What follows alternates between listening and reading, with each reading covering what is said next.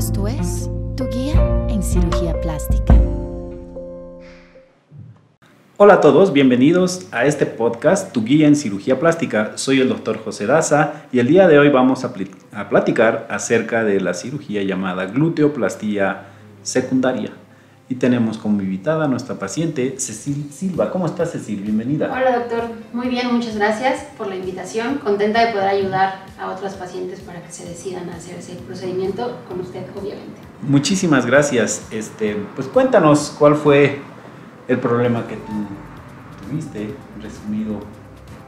Brevemente. Brevemente, pues complicado resumirlo, pero el motivo del por qué lo consulté fue porque ya había hecho dos, dos intentos de esta cirugía con dos cirujanos distintos y las dos salieron pues no exitosas.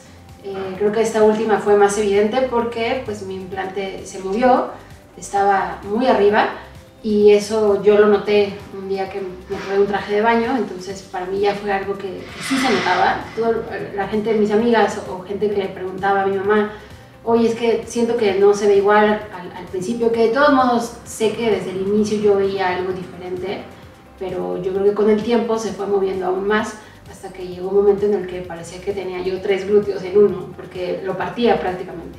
Sí, sí, efectivamente. Este, tú tuviste también en la herida infectada, abierta, me parece, ¿verdad? En una de las cirugías. Eh, la primera cirugía, eh, yo en algún momento de, las cosas que eh, investigué para decidirme a hacerla, sabía que se dejaba un dren. El cirujano que, que, lo intentó la primera vez no lo hizo. Entonces, en el postoperatorio, pues tuve muchos problemas porque seguía, o bueno, salía líquido, el seroma. A través de la herida. A través de la herida, entonces no cerró.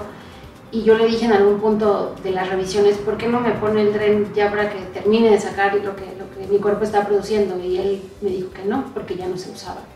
Entonces llegamos, llegó un momento en el que pues ya no podía yo tener la herida abierta por riesgo de que se infectara mm. el, implante. Entonces, después de 15 días, pues decidió quitármelos.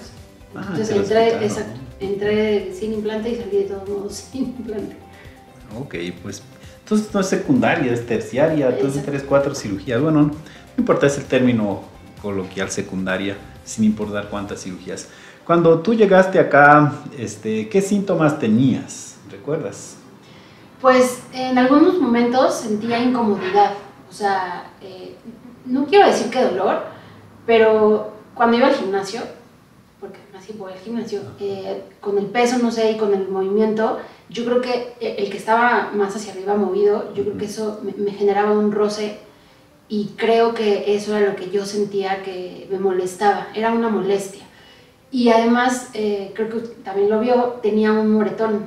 Sí. Digo, pequeño, pero yo creo que esa era la, presión que estaba haciendo ya el implante porque ya estaba muy arriba, o sea, prácticamente estaba como en mi espalda baja, ni siquiera estaba en el glúteo. Así es, y este, una simetría, ¿no? Importante había. Exactamente. Una simetría. ¿Recuerdas qué tipo de implante tenías? Sí, eh, por recomendación de ambos médicos, las dos primeras veces que lo intenté era un eh, implante anatómico. Los de gota, ¿no? Exactamente, porque lo que a mí me explicaron es que se veía muchísimo más natural y pues cubría o, parecía más como la forma natural de un glúteo. Entonces, por eso es que se decantaron por esa, por esa opción. Okay. Sin embargo, cuando llego con usted, pues usted me explicó una cosa totalmente diferente y que nadie nunca me había dicho que me hizo mucho sentido.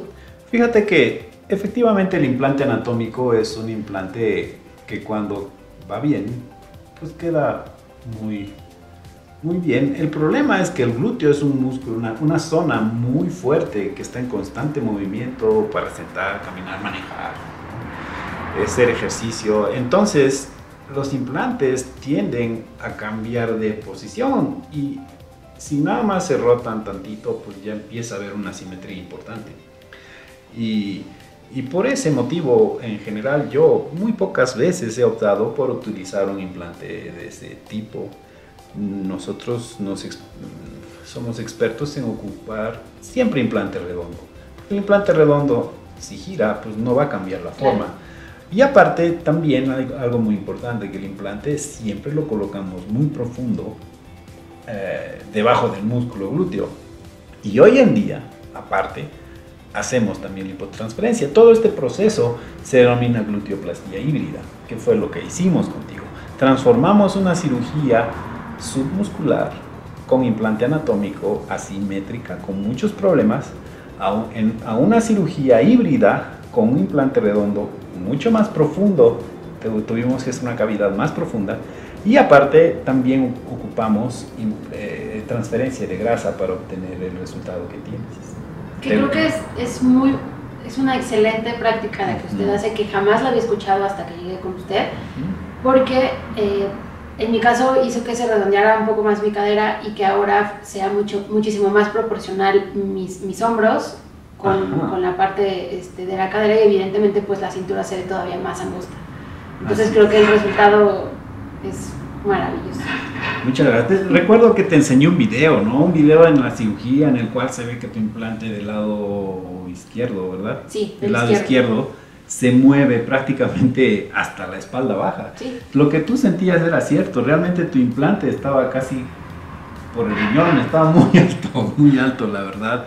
No sé cómo pudiste estar con ese, esa molestia tanto tiempo, pero bueno, al final tú no lo sabías, ¿no? Pero, pero todo se solucionó, fue una cirugía compleja, difícil, pero mm, afortunadamente no hubo ninguna complicación. ¿Ahorita cuánto tiempo llevas?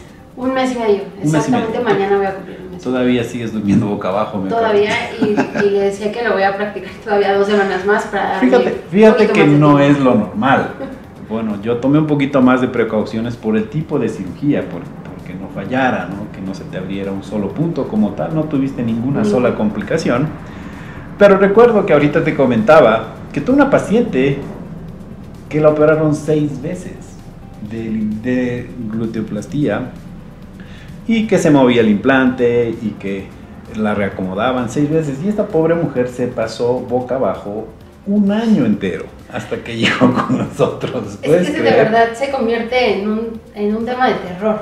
O sea, porque no sabes, recuerdo que en la, que en la revisión, eh, cuando lo, consulté la primera vez, me, me, me acomodó manualmente, bajó el, el, implante y me dijo, ya quedó. Digo, ah, aparte tu implante estaba volteado, ¿no?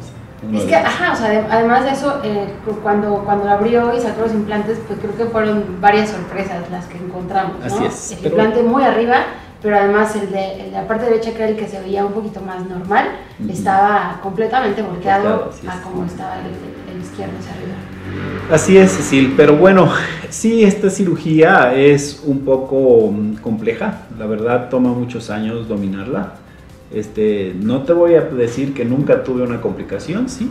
Yo tuvimos de vez en cuando alguna apertura de heridas, seroma. Lo que sí te puedo decir que hasta el día de hoy creo que nunca hemos tenido que quitar un implante por infección o porque quedó chueco. Y creo que eso es muy importante que lo sepan. ¿no? Todas las cirugías se pueden solucionar. Realmente cualquier cirugía, no solamente en el glúteo, en el abdomen, en el busto, la nariz, etcétera, etcétera se puede solucionar, pero ¿quién lo soluciona? Es lo importante, ¿no? Como esta paciente que comentaba, te operaron seis veces y no se solucionó, pues vas a regresar con él.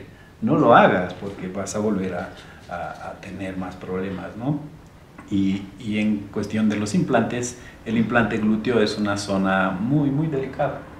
Y como tal hay muy pocos cirujanos que se nos dedicamos a ese tipo de cirugía. Sin duda yo se lo he comentado desde la primera vez que ahora sé que para esta cirugía se necesita estar con un doctor que tenga experiencia totalmente. No nada más se trata de, de, que alguien sepa cómo abrir y cerrar una herida, sino de, de, justamente el tema de la colocación, que haya pues una buena asesoría para poder tomar la mejor decisión y saber que vas a estar en las mejores manos y que el tiempo, el esfuerzo, el dinero que vayas a invertir en eso, en ti, va a valer la pena al 100%.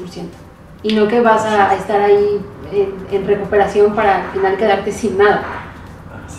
Sí, es muy frustrante.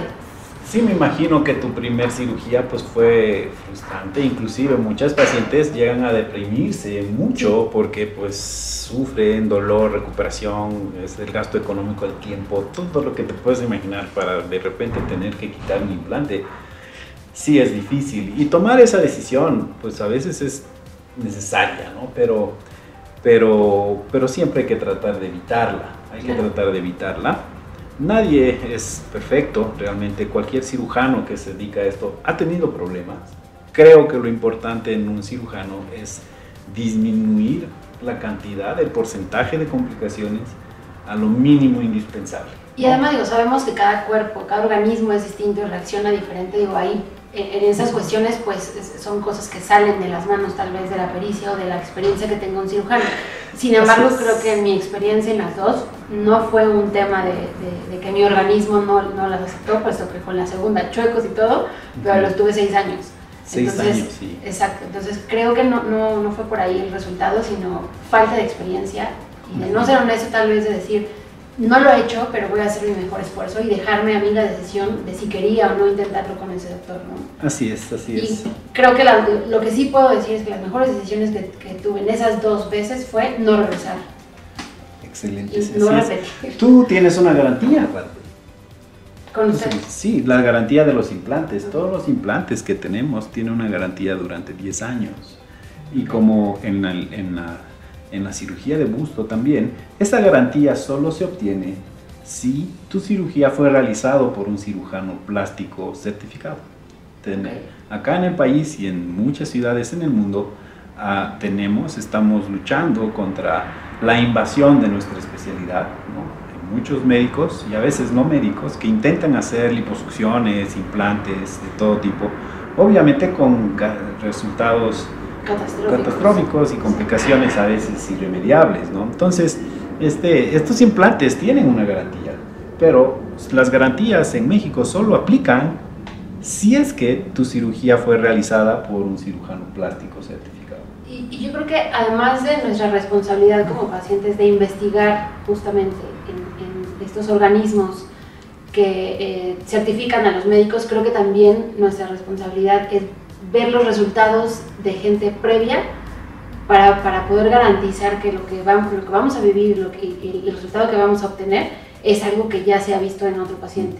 Creo que, o sea, creo que también es, el primero es que sean certificados y la segunda es experiencia y pacientes reales. Ah, sí, fíjate que sí también es un poquito cierto lo que dices, me ha tocado operar también cirugías secundarias. Acá en nuestra clínica prácticamente nos especializamos en cirugías secundarias. Aproximadamente el 40% de nuestras cirugías son secundarias. Secundaria significa pues, arreglos de una cirugía que no quedó del todo bien ¿no? en cualquier parte del cuerpo. Y no solamente hacemos cirugía de glúteo, también este, abdomen, liposucción, nariz. Afortunadamente tenemos una práctica muy amplia, como tú ya viste. ¿no? Ya puedo confirmar. Ok, si estás contenta con el resultado. Estoy muy contenta, eh, a pesar de que estoy todavía justamente en, cuidados por mi tema, o sea, me, comentaba que normalmente esta cirugía tiene un tiempo de recuperación muchísimo más corto, 15 días, dos semanas. Yo ya voy por el doble, pero eh, vaya, en, el tema de los masajes que también me dieron aquí en, su clínica para la recuperación, súper contenta. Eh, las chicas me decían, Cecil, te vemos muy bien, pero creo que más allá de lo que ellas me decían, como yo me siento, es muy bien. Entonces, eso me da total seguridad de que fue una muy buena cirugía y que, y que esta es la última. sí, yo creo que sí. Ya no tengas ningún miedo, la verdad estás prácticamente dada de alta. Hay un poquito de inflamación todavía que va a ir desapareciendo en los siguientes meses, pero que tengas una complicación importante a estas alturas está prácticamente descartado. Excelente. Esas son buenas noticias, muy buenas noticias. ok, Cecil, ¿qué les puedes decir aparte a nuestros escuchas, seguidores? Pues sin duda que sigan las recomendaciones para el postoperatorio porque creo que eh, o sea, el, cirujano va, puede hacer y dar su mejor esfuerzo para que la cirugía sea exitosa, pero también tiene mucho que ver lo que estamos comentando ahorita, no sentarse, este, utilizar el cojín especial, el BBL, para, eh, para que el, peso no esté recargado en el glúteo, que aunque sé que no está bajo el implante, pero pues se, se, hace como un poquito de tirón, ¿no? por el movimiento que, que tiene en, la operación. Entonces creo que es eso, no sentarse, comer bien, tratar de, descansar porque eso es lo que, lo que ayuda. Y creo que el tema más desesperante, que no es dolor, el... La posición, ¿no? el, tren. Aquí le decían la mascota, porque va contigo a todos lados. Creo que es la parte más incómoda. Porque ya en los últimos días, de verdad, se me olvidaba que lo traía y ya lo iba dejando. Y yo hice, no, regresaba con él prácticamente. creo que es la única parte este, incómoda, pero sin duda es la más necesaria y la que hace justamente que la recuperación sea pues más pronta y, y que el resultado sea bueno. Porque Pero si no- llevaste una semana, 10 días, ¿no? Eh, casi 12 días, Doce- creo. 12 días. Casi 12 días, pero eso es lo que permite que pues, todo lo que el cuerpo genera salga y no se Sí, quede adentro. sí, más en una pueda cirugía secundaria. Hay, hay un dicho muy famoso que decimos todos los cirujanos. Jamás te vas a arrepentir de no dejar, de dejar un DRE, pero sí de no dejarlo, como te pasó en tu primer Sí, cirugía. sí, sí. Probablemente con un DRE no, no tuvieras tenido tu primera complicación, ¿no? Exactamente. Pero bueno, ya estás manejando, me comentabas. Sí, ¿Qué ya sientes? este es mi tercer día. eh, parece que voy como en las nubes, como en el segundo piso de mi Ah, auto.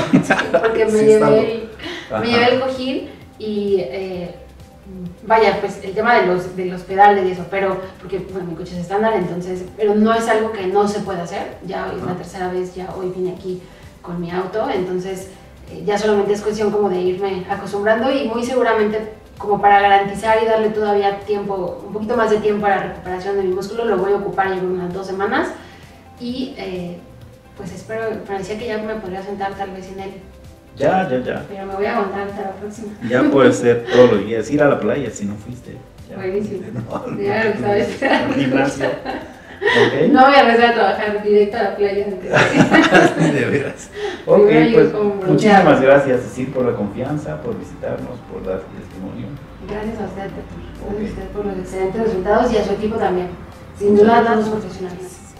Muchas gracias. Miren, este, este podcast, Tu guía en cirugía plástica, está orientado para resolver este tipo de dudas. Pacientes que, aparte de una cirugía programada primaria, muchos pacientes que tienen complicaciones y que tienen muchas dudas porque tuvieron una cirugía no fallida en algún otro sitio.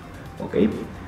Muy pronto con el siguiente capítulo. Gracias a todos. No se olviden seguirnos en todas las redes sociales. Por favor, envíenos todas las dudas, preguntas que tengan acerca de cualquier cirugía, cualquier tratamiento que tengan o que hayan tenido un problema o tengan preguntas, simplemente preguntas o dudas acerca de, de ellas. ¿Ok? Nuestras redes sociales, la principal Instagram es arroba drjosedaza, Facebook y YouTube. Muchas gracias, Cecilia. Revisen las redes del doctor, ahí vienen todos los resultados que tiene, incluso en tiempo real, pone un antes y un después en el momento de las cirugías, entonces no dejen de verlos para que vean que están con resultados garantizados y se den una idea de cómo van a quedar. Muchas gracias. sí. Acabas de escuchar Tu guía en cirugía plástica.